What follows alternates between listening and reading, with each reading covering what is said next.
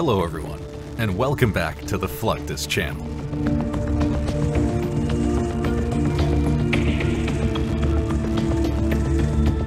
Contrary to popular belief, a battlefield does not consist of two lines of troops standing on opposite sides.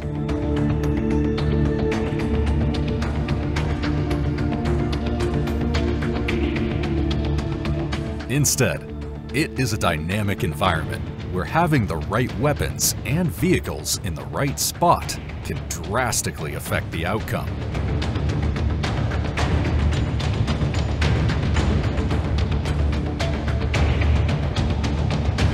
For decades, military tacticians have tried to find new ways to move their assets around the battlefield quickly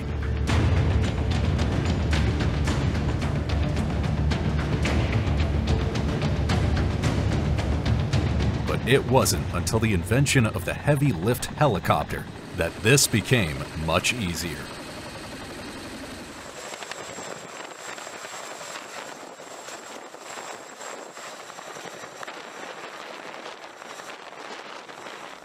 Over time, the helicopters doing the lifting have only gotten larger and more powerful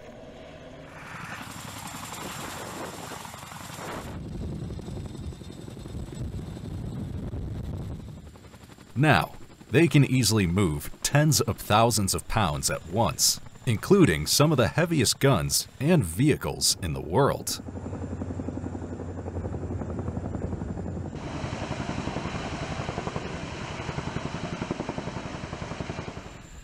With cargo hooks and hoists at their disposal, helicopters can use a process called sling loading to move equipment and supplies from one area to another in mere minutes.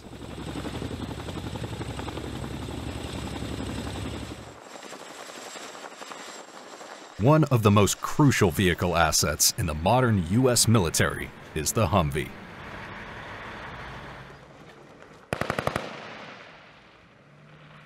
These fast, versatile vehicles can be converted to carry a wide range of weapons, boast varying degrees of armored protection, and travel at speeds of up to 70 miles per hour.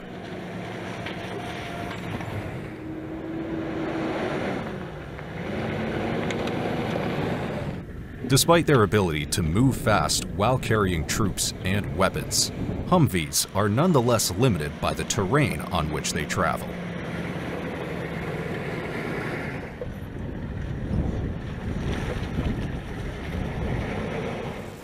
With sling loading, Humvees can be moved from one part of the battlefield to another in minutes.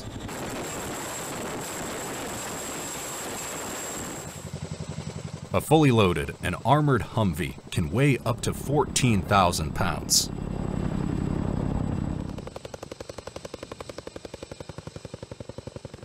Fortunately, the CH-47 Chinook helicopter, which is frequently used in sling loading operations, can lift up to 24,000 pounds at a time via its external cargo hooks.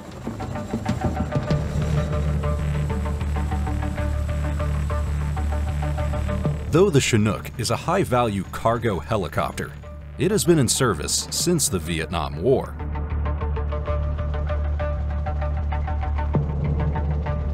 The CH-53E Super Stallion, on the other hand, is newer and much more powerful.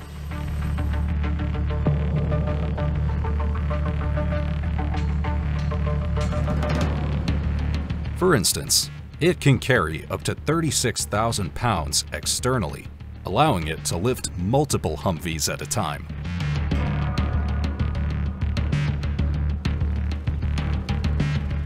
Not only can it fly for extended periods of time while carrying this heavy load, but the helicopter will be stable enough to allow for mid-air refueling throughout the process.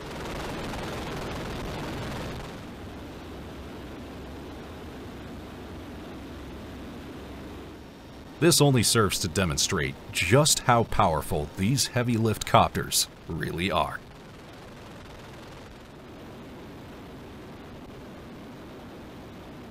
Regardless of the type of helicopter or type of vehicle being moved, the sling load process remains more or less the same. Here, you don't hold it over your shoulder like this. You're gonna verify. Each aircraft is equipped with a series of internal and external hooks built directly into the fuselage.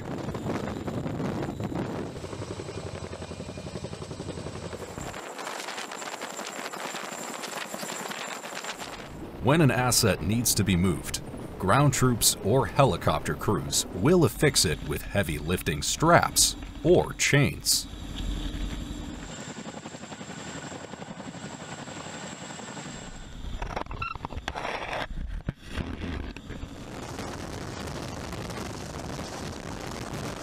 The helicopter will then move into position, hovering in place so that the straps on the vehicle can be attached to the waiting hooks.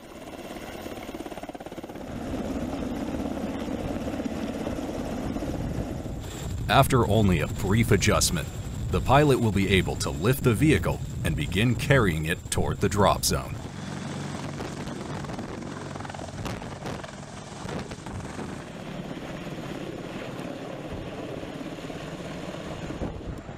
Though it's possible for helicopters like the CH-47 and CH-53 to ferry cargo and vehicles over longer distances, this results in drastically increased fuel expenditure.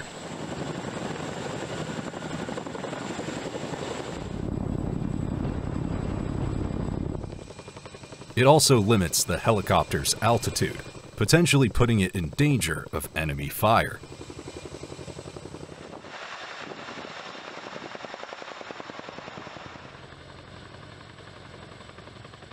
So, when it comes to moving large amounts of equipment and vehicles quickly and safely, an airdrop is often preferred.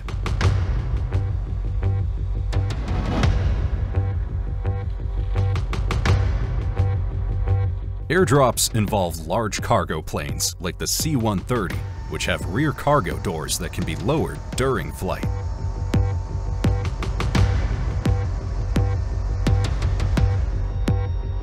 This allows for large numbers of pallets fixed with self-deploying parachutes to be simply pushed out the back.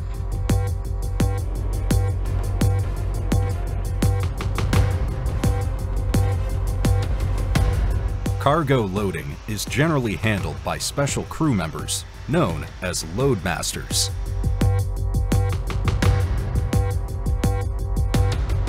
In a non-airdrop scenario, these men and women are responsible for ensuring Humvees and other vehicle assets are properly secured during flight.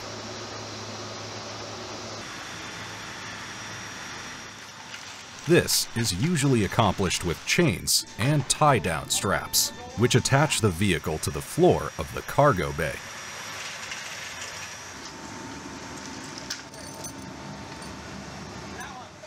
If done properly, the vehicle will not move, even if the aircraft takes evasive maneuvers.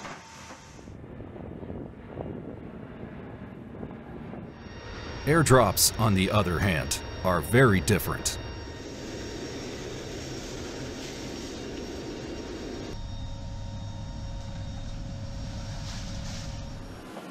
In order to secure the load and maximize the delivery, both the vehicles and any cargo or other supplies will be tightly packed onto special heavy-duty pallets.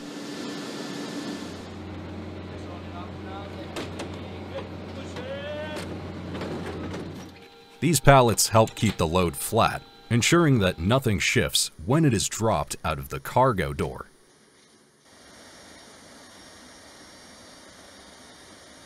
These not only serve to pull the package out of the back of the plane, but deploy automatically in midair, bringing the Humvee to the ground safely.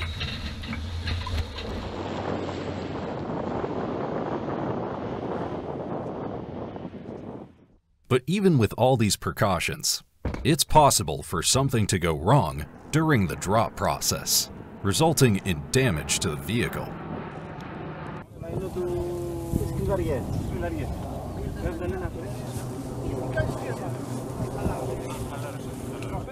This is why padding is often included under the vehicle to help absorb the impact of the landing.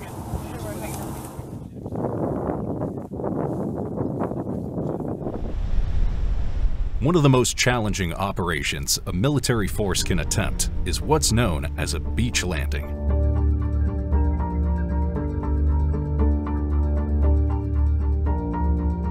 This involves moving troops, weapons, and vehicles from a ship to the shore.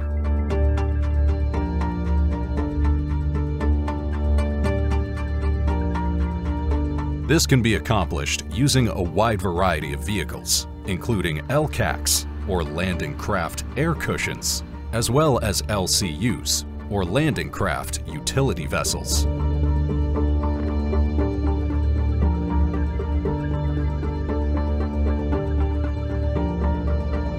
LCUs have been used in some form or another since World War II.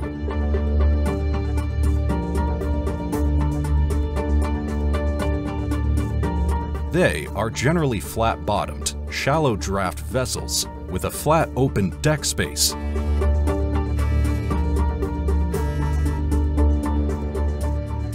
Because of their unique design, the boats can effectively beach themselves, allowing any vehicles to simply drive off of them and onto the waiting beach.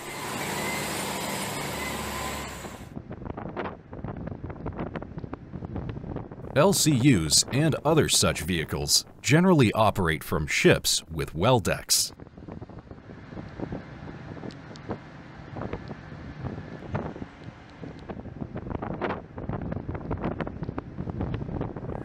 These are water level areas that can be flooded to allow for the deployment of a wide variety of amphibious vehicles and watercraft.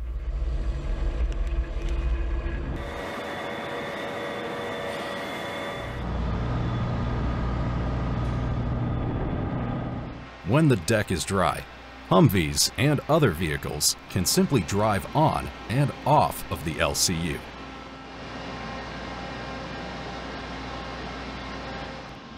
Once on board, they will be tied down to keep them from shifting while the boat is in transit.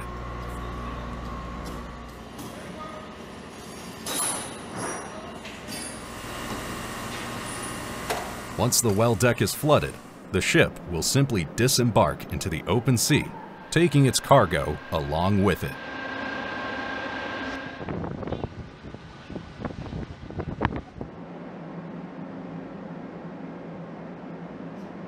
Though LCUs can operate from virtually any type of shoreline, they typically aim to pick up and deploy their vehicles on a concrete dock.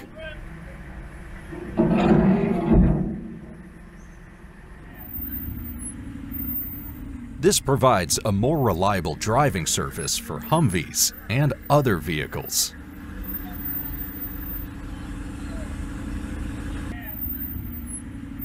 When the operation is complete, the process simply works in reverse. The LCU will pick up any waiting troops and vehicles and drive them back to the waiting well deck.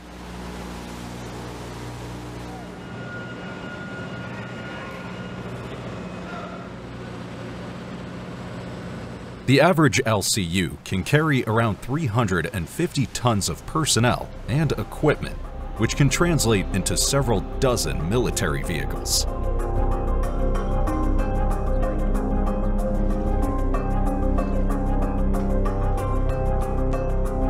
This makes them an invaluable component of any ship-to-shore operation.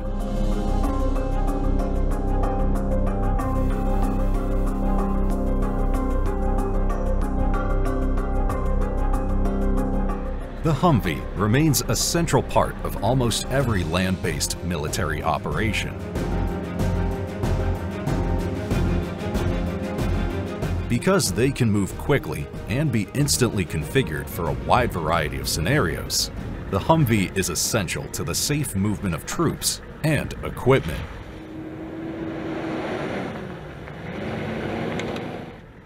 In many cases, Humvees will be the first units to take on patrols and other important duties.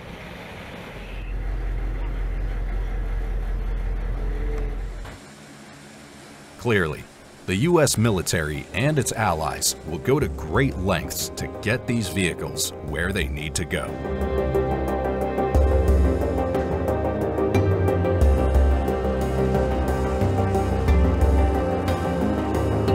That's the end of this video. I hope you enjoyed it. Make sure to subscribe to this channel so you don't miss any of our new content. See you next time.